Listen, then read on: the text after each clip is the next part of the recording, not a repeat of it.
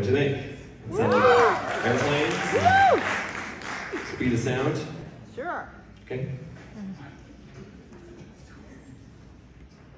This next piece is called Young Person's Guide to John Williams. So, Young Person's Guide to the Orchestra is this old classical piece that some of you might know about.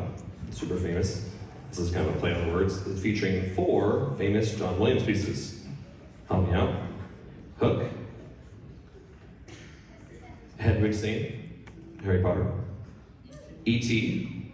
Oh. and Raiders March from Indiana Jones.